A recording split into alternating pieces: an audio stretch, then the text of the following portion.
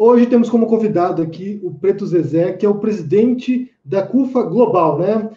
É, seja bem-vindo aqui, Preto Zezé. Vamos falar um pouquinho sobre o Brasil hoje e toda essa loucura que a gente tem encarado, né? Bem-vindo. Opa, Henrique, obrigado pelo convite. Um prazer estar aqui, né? É, nesse momento, eu acho que é um momento no mundo, né, cara, extremamente complexo que a gente vai ter que juntar aí saberes, inteligências e forças para poder construir uma outra vibe, uma outra sintonia, outra atmosfera diferente dessa do ódio aí, da segregação, né, da violência, para poder a gente não naufragar, já que a nossa agenda não é essa, a nossa agenda é outra. Então vamos ter esses espaços como esse daqui, fazer pontes para que seja possível a gente juntar esses ambientes, essas energias boas. É, e eu sei que está com uma agenda super lotada, né? Que é muito importante também transmitir essa mensagem e eu acho que compartilhar um pouco desse alto astral que você tem, né? Porque eu te acompanho nas redes sociais, eu vejo que você é sempre ali na luta e não deixa a bola cair. Explica, por favor, Preto Zezé, o que é o CUFA, né? Não, o que é a CUFA, né? Porque é a Central Única das Favelas. O que, que é isso e qual o trabalho que vocês fazem? Então, cara, é, a CUFA, ela foi criada há 20 anos, né? Fundada pelo Celso Altaíde é, no Rio de Janeiro. E hoje nós estamos nos 26 estados, mais o Distrito Federal, e 17 países, né? Porque transbordou a experiência brasileira para outros lugares do mundo e a gente teve que articular, né, através da ONU, do evento que a gente fez nos, nos Estados Unidos em 2015, Semana da CUFA, uma articulação que nós chamamos de CUFA Global, que é quem articula é, os 17 países, que a gente quer chegar a 25 agora no final do ano. Inclusive, durante a pandemia, a CUFA que foi aberta, a 18ª foi a da Irlanda. O pessoal, inclusive, estava numa ação agora de organizar lares de idosos. Muitos idosos morando sozinhos, sem condições de organizar e dar arrumada na casa. A galera foi lá e deu uma organizada. Majorita, é, basicamente, o eixo da CUFA é formar liderança nesses territórios de favela, né, com a história do protagonismo das favelas, a revolução que a gente acredita tem que ter as pessoas das favelas participando das soluções dos problemas que elas vivem, organizar uma agenda positiva nesses territórios, capaz de impulsionar uma agenda pública que faça esses interesses desses lugares, dialogar com os setores da sociedade, empresariais, governamentais, para que sejam executadas essa agenda de enfrentamento de desigualdade, que é uma herança né, da nossa sociedade, e uma agenda positiva de ações, porque muitas vezes esses lugares só são vistos como lugares de tragédia, violência, coisas ruins, e antes da pandemia, por exemplo, as favelas produziam 119 bilhões de reais, que é o PIB do Uruguai inteiro e do Paraguai e da Bolívia juntos. E aí a CUFA se transforma nessa rede né, de favelas, com a perspectiva da favela como potência, uma grande rede de formação de liderança de homens e mulheres, principalmente negros das favelas, e, pra, e fazendo esse trânsito, né, esse diálogo com as partes da sociedade para poder encaminhar as suas demandas. É, eu percebo, pelo que você fala aqui, que essa organização ela surge, de certo modo, de uma ausência do Estado nessas comunidades. Né? Então, assim, a impressão que nós temos aqui é que o Estado só entra na favela para repressão, que eles não fornecem os serviços que você esperaria básicos de uma sociedade, sabe, o bem-estar social, na verdade, né? Hospitais, escolas, então vem na repressão. E outra coisa que eu percebo também, inclusive tem um amigo meu que comentava isso, né, dizendo assim que político só vai para a comunidade para pedir voto. Então, assim, você tem um, um, um, vácuo de quatro anos que ele vai lá, surge, aparece na comunidade, fala com os moradores, depois desaparece e é uma impressão, talvez, para a população, não apenas das comunidades, mas do brasileiro em geral, de que os políticos são incapazes de lidar com os problemas complexos do Brasil.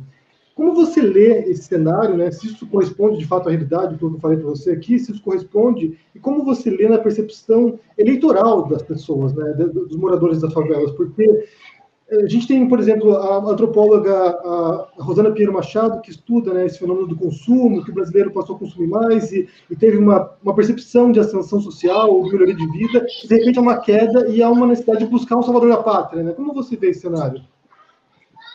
Eu concordo muito com a Rosana, por incrível que pareça, a gente nunca tinha se falado e muitas coisas do que a gente pensava e que fazia estava muito em sintonia. Inclusive, eu tenho uma live com ela amanhã, por coincidência. É, aproveitando aqui, pegando a carona aqui, fazendo a propaganda.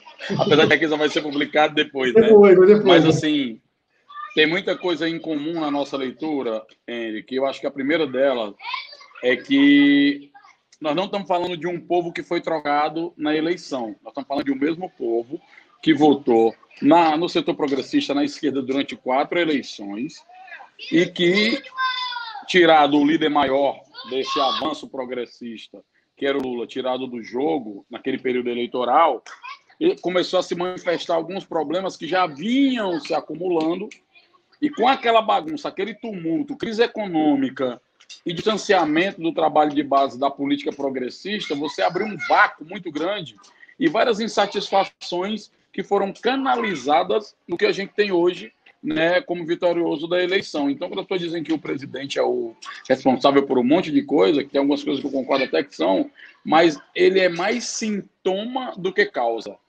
Né? Então, há uma insatisfação das pessoas com as informações dos meios de comunicação, há uma insatisfação das pessoas com o distanciamento da política do seu cotidiano.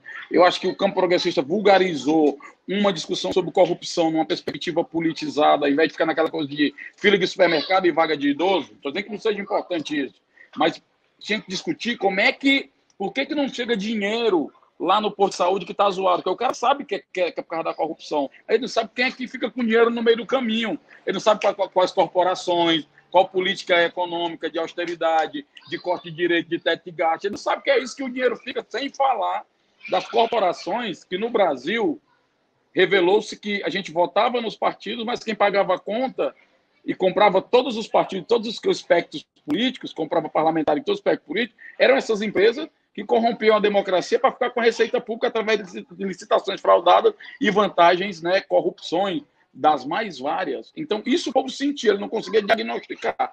Um outro elemento que eu penso também é que esse cara que melhorou na economia durante os governos do Lula, do PT, ele começou a ter um problema que a esquerda não só se omitiu, mas ela colaborou para que a gente chegasse até ele, de maneira agravada, porque ela legitima, que é a questão da segurança pública. Eu falava há pouco com o Luiz Eduardo Soares, a gente falando nesse tema, você teve uma adesão, cara, a uma, a uma política de lei e ordem, a uma política reacionária conservadora na segurança pública, de aumento, baseada em munição, efetivo, é, é, é, prisão, né, armas. E esse discurso de lei e ordem aí foi legitimado mais ainda. Você teve GLO, né, você teve revisão de lei de segurança nacional, você teve Força Nacional, você teve presídios federais, que nacionalizaram os grupos criminosos que antes eram mais só de São Paulo e do Rio, agora estão no país inteiro.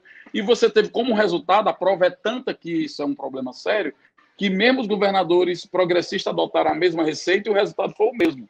A encarceramento em massa, terceira população carcerária, subgrupo de 40% pessoas que têm atividade naquele varejo de venda de droga, 62% desse grupo são mulheres, e tudo isso veio nesse caldo. E por último, num ambiente em que você não crê em nada, que você não tem perspectiva, que você já não acredita mais em tudo que está ao seu redor, que as suas certezas vão ruindo, você precisa de alguém para salvar a sua pátria e alguém que legitime uma fé em algo. E aí você tem as igrejas que sempre foram parceiras de campos do campo progressista e aliados, porque também se fala desses setores como se tivessem 21 dias de eleição se transformado é, em fascista da noite para o dia como as piores pessoas do mundo, quando na verdade não se trocou o povo, não, hein? é o mesmo povo que re decidiu rejeitar essa crise e se encontrou identificado em outra, na medida em que o próprio Lula é retirado né, do processo eleitoral naquele processo super questionável, inclusive que agora na justiça estão questionando novamente da eleição. Então, assim, há um cenário que nos emboca para cá e que, por incrível que pareça,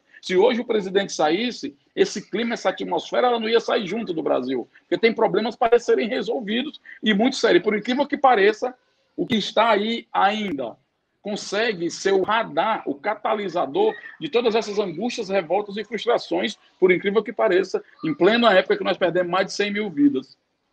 É, então, na verdade, todo esse processo de ressentimento, né, porque é uma exploração desses ressentimentos das pessoas, né, a sensação, de, a sensação de perda de alguma coisa. É um fenômeno global, a gente percebe isso, acho que começou de fato nessa era agora em 2008, quando tem a crise global e vai se espalhando pelo mundo, chega no Brasil em 2014 e diante, e você tem nos Estados Unidos o Trump, que também. Bem, o brasileiro importou, de certo, de certo modo, certos elementos da retórica trumpista. Né? O Bolsonaro ele é chamado de Trump dos trópicos, porque ele reproduz muita coisa do Trump. Eles importam o que tem de pior, né? A gente tem agora a eleição esse ano, e você tem visto agora uma série de manifestações antirracistas lá por causa de abuso policial. Eu vi que você está acompanhando também, compartilhando um monte de coisa. Você sente que a gente está num momento crítico, assim, que é aquela, aquela coisa de de, de, quebrar agora? Tipo, alguma coisa vai romper e vai poder surgir um novo modelo ou não? As coisas vão se, sabe, voltar ao mesmo local de antes e, e sabe, e, e o sistema vai se reinventar? O sistema está procurando uma forma de se reinventar. A crise é essa. O sistema, como estava até agora, não conseguiu dar resposta. Não consegue mais satisfazer as ansiedades das pessoas a política do jeito que está acordada nos acordos por cima dos caciques, dos partidos, que são as mesmas lideranças da esquerda e da direita desde a redemocratização, cara. Isso é um negócio muito louco. E as pessoas não se tocam disso. E aí querem representar uma base que é preta, favelada, jovem, mulher, num partido de homens brancos de classe média, assim, é, é meio distante. E há necessidade de identidade, não só discursiva e de agenda, também estética, a representatividade no sentido de mexer nas estruturas, não só aquela, ah, tem um preto na televisão, tá legal. Não, tá legal, mas isso não muda a vida dos outros pretos que estão fora da TV, percebe? Então, assim, precisa discutir, é, é o que está em discussão é qual é o, a, a agenda pública capaz de resgatar algumas pactuações necessárias para a gente poder enfrentar esse momento de desafio, que é muito sério no Brasil e no mundo, porque eu estou trocando a democracia, mesmo capenga, por discurso de lei e ordem. Então, parece que as questões sociais vão resolver com caso de polícia, com cadeia, com prisão. E quando você tem um campo progressista desorientado, brigando por protagonismo, e um, um, um campo progressista é, extremamente dividido, guerreando pelo monopólio do bem, e não por uma agenda que atrai as pessoas, que traga elas para de novo para junto, que volte para trabalhar a coletividade, a vivência comunitária, esse campo oficial mais orgânico ele está fora da, do jogo. O que nós estamos vendo de positivo é que começa, e aí tem vários sinais, né? Esse dos Estados Unidos, eu acho que é o mais né, estridente, começa a se mexer as placas tectônicas do domínio desse discurso de extrema-direita de frustração e apontando para a nova renovação de lideranças, para novos fazeres políticos, para novos personagens políticos. Veja as manifestações de domingo no Brasil, as últimas que tiveram, era jovem negro de favela, mais organizado, não tinha tanta predominância do vermelho, é, ninguém estava brigando para ficar falando no microfone repetidamente as mesmas coisas. Uma galera mais mais agressiva, porém mais politizada, mais organizada, comunicação solidária, álcool gel, máscara. Então, assim, há uma coisa em andamento no processo. Então, eu penso que com todas as crises, e as crises são para isso, são para nos apresentar também, tirar do lugar comum, do conforto, para dizer, ó, vocês vão ter que se virar se quiserem sobreviver, porque o, o trem está andando. Quem não vier vai ficar. Na sua leitura, Pedro Zezé, qual é a saída para isso? Ela passa pela sua organização de base, como vocês fazem aqui, né, com a comunidade, passa pelas redes sociais, pela política institucional, mesmo partidária. Onde que está, sabe, o fio condutor para nos levar para fora de um cenário tão desesperador? Porque a gente vê agora um cenário de empobrecimento coletivo, né? A própria pandemia agora ela vem como um elemento adicional de algo que já estava bastante fraturado, né? Não é uma resposta fácil, né? Essa resposta vale a revolução. Mas assim, o que, que a gente tem identificado, ele, eu acho? A primeira coisa é a gente recompor um campo de unidade em torno de agendas comuns que sejam comuns à maioria da sociedade, não somente aos campos políticos. Né? As pessoas têm pensado, ah, qual, mas o que você acha que vai ser o presidente do Brasil político? Eu disse, eu não sei se agora a nossa preocupação tinha que ser um nome de presidente a gente tem um projeto. Foram os projetos que fizeram com que uma agenda inclusiva de enfrentamento à desigualdade fosse eleita, e não o nome. O nome, a gente devia inverter agora com essa crise, que a agenda é que vai. Que quem ganhou a eleição passada foi o revólver, foi o ódio, foi a mamadeira de, de, de, de piroca, foi coisas. Não foram, tinha é, eram medos, né? manipulações de medo. Eu acho que a gente devia agora jogar na fomentação de esperanças, e não na agenda de mais medo. Ah, o fascismo, ah, não sei o quê. Ah, é... Isso não, é, não, não, não, penetra o imaginário das pessoas. Eu acho que a primeira coisa é. A... E aí, Bruno? A agenda de, de, de austeridade está em xeque no mundo todo. Isso é um consenso no mundo. O mundo todo falou de renda básica. É uma vitória de um campo que estava em descenso. E nós estamos agora pautando a ponto de deputados que não são nem do campo progressista falar em taxação de lucro e dividendos, falar em mais dinheiro para o SUS, falar em renda básica, aumentar a Bolsa Família. Então, o debate de um Estado para a maioria voltou à pauta. O outro conceito é que democracia é essa? A democracia só de voto não está valendo mais. Tem que ser a democracia de controle de regulação e de participação da, qualitativa das pessoas. Não é aquela participação condicionada. Não, aqui o governador é de um partido, nós age assim. Aqui o governador é de outro partido, nós age assim. Não, tem que ter uma agenda pública da sociedade protegida desse dessa atmosfera da disputa partidária eleitoral, que ela é conveniente em alguns estados. Aqui o cara briga com um cara do PT, com não sei quem, lá na outra o PT briga com o PCdoB, o PCdoB com o PSDB, PSDB com o PS. E essa salada de partido loucura, o povo não assimila isso como uma coisa de disputa de rumos ideológicos. Ela, ela, ela interpreta como disputa de jogo de poder, que na essência realmente é. Então, isso não é educativo, não tem pedagogicamente ajudado o povo a, se distanciar daquele senso comum dos políticos são todos iguais. Pelo contrário, transforma a política nessa questão. A outra é como é que a gente democratiza o fazer político. O Brasil tem um problema, a gente é em massa reclamativo, xingacionista, mas a gente não se engaja nas causas. Os Estados Unidos é o contrário. Você tem aí de cada 10 pessoas, eu vi uma pesquisa que eu fui em Chicago, eu fiquei foi com vergonha. O, o, nível de engajamento de Chicago era de 8,2, no Brasil era de 1,5, cara. Eu fiquei assim, procurando lugar para me esconder, porque tem gente que cuida desde animal, a cara que vem da guerra, né? Veterano de guerra, é, comida saudável, crianças, trabalho comunitário, policiais envolvidos em trabalhos comunitários. E vejam só, policiais que diziam que segurança pública era articular a comunidade em torno de pautas comuns da comunidade, ou seja, não era de arma, viatura, tiroteio largar bala em ninguém então, assim, isso é uma coisa que a gente tem também que trazer de volta. Como é que traz isso de volta? Com causas. As causas, assim, a, a pandemia, elas nos aproximou de muita gente que quer estar próximo das nossas causas, mas elas não querem estar dentro das caixinhas, se é de um lado ou de outro. Mas a, eu não preciso das caixinhas. A minha pauta em si já diz que lado eu sou, cara. Eu estou com uma pauta de combate à desigualdade, de inclusão das pessoas, de divisão de riqueza, de democratização do Estado, de política pública universalizada. Eu já disse do lado que eu estou. É da inclusão da maioria. E isso você tem uma questão muito séria, que tanto esgotou a possibilidade desse modelo de democracia burguesa que a gente trouxe até agora, liberal, como esgotou também o próprio planeta, que não aguenta mais o modelo de produção e consumo que está em andamento. O estrangulamento é aí. O problema da fome não é falta de comida, cara, é que a comida está concentrada. Não é falta de dinheiro, é que o dinheiro está na mão de poucas pessoas. Então, assim, você precisa repensar isso, e repensar isso a partir de quê? Da base, dos pequenos núcleos, das comunidades, porque hoje, na cabeça das pessoas, assim, eu estou aqui nas quadras, minhas áreas que eu nasci, me cresci aqui na casa da minha mãe. O cara que está aqui, ele não sabe nem o que está acontecendo lá em Nova Orleans, lá no... Ele não sabe, não sabe acontecer ele tá, os moleques tá, os moleques tá na internet, tá acontecendo que a NBA parou o jogo, porque deram um tiro no preto, o jogador, o LeBron James, essa juventude está mais conectada. Talvez nela, inclusive, resida a possibilidade, a faísca desse estopim que precisa ser aceso, né? As mulheres também, porque elas estão muito no cotidiano de toda a complexidade. No Brasil, então, você imagina, né, cara, assim, a gente tem um programa chamado Mãe da Favela, nessas campanhas emergenciais na favela será mais sacrificada no processo da pandemia, mas dentro dela serão as mulheres que estão agora, nesse momento, com filhos, sozinhas, com pessoas idosas, sem poder sair para arrumar dinheiro e sem ter quem segure sua onda no final do mês, segundo a nossa pesquisa. Elas já tiveram 87% de negócios, quem tem negócio quebrou, mas a maioria dela, 80%, não tem nem como pagar as contas ficam do final do mês, né? Então nós vamos ter um colapso aí. Talvez um grande movimento patriota nosso seria, por exemplo, é lógico que eu sei que nem todo mundo pode ajudar, a gente não pode ajudar todo mundo, mas todo mundo pode ajudar alguém. Deveria ser um grande movimento para não deixar 40 milhões ou 50 milhões de pessoas que agora literalmente vão passar fome, cara. A gente devia não permitir que nossos irmãos brasileiros passassem fome.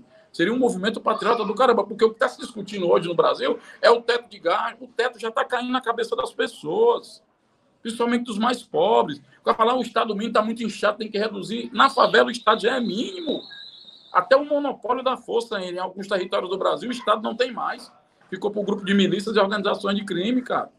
Então é muito sério o que nós estamos passando no mundo. nós temos a chance agora de afastar nossas diferenças um pouquinho, de ter ela como uma virtude boa, sentar todo mundo, sentar na sala e dizer, ó, tem uma agenda comum que não é minha nem sua, é nossa, pode ser assim, e caminhar. E ter uma paciência com o que nos divide, porque também é outra coisa que entrou, é uma agonia de todo mundo ter a verdade, a receita própria, e ninguém tem, cara.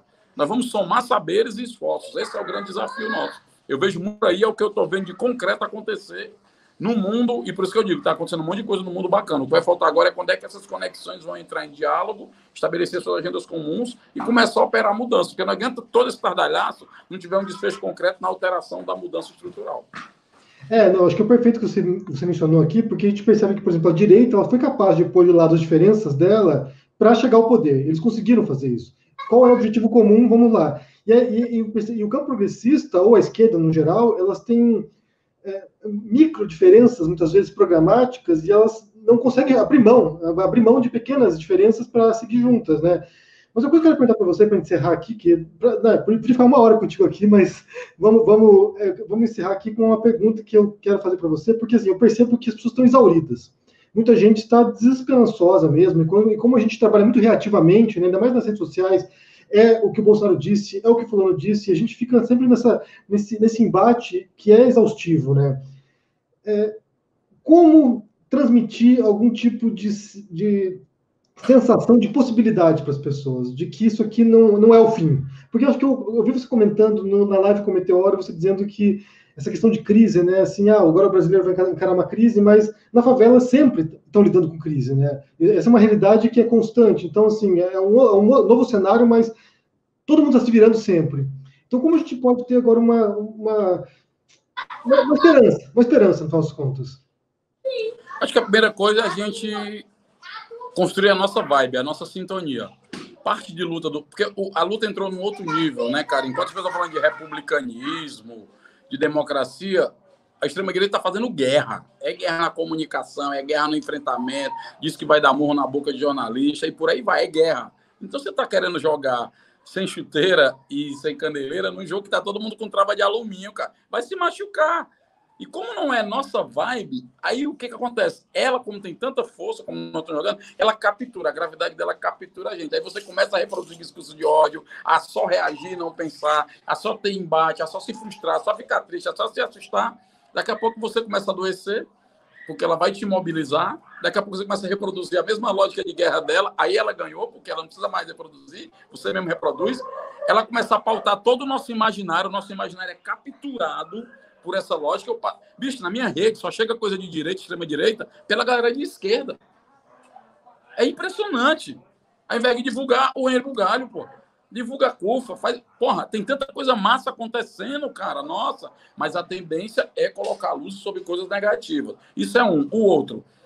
A gente tem que se aproximar de uma coletividade. Tá todo mundo, tudo bem, tá todo mundo sozinho agora nesse momento e tal, mas você tem que se conectar com outras vibes também, com outros fazeres, né, cara? E sem aquela de que você vai catequizar alguém, vai ter que ganhar o debate. Não precisa ser vitorioso de nada agora, calma, só junta, convive. Não tem mais convive, é tudo muito fast food. Todo mundo está pensando agora para daqui a 100 dias para a eleição. Esse projeto não é um projeto eleitoral. Projeto de retomada das esperanças. A esperança é a nossa bandeira política principal. Ela não é um projeto eleitoral. É para além disso, a eleição terá que ser pautada por essa onda que nós vamos construir agora e não termina lá, e na eleição pode ser mais um fim em si próprio. Isso tem sido parte do câncer desse processo. E nós temos que ter espaço e conectar outras ambiências com novas pessoas, porque as que estão aí, do ponto de vista tanto ideológico como físico, precisam entender que o processo está veloz, precisa de novos olhares e novas vivências, que infelizmente o que está aí não consegue responder mais. Então nós temos várias possibilidades de sintonizar potência, juntar gente, e sem aquela do ranqueamento, quem vai sofrer mais ou menos, quem é o mais importante ou não, sem essa luta louca.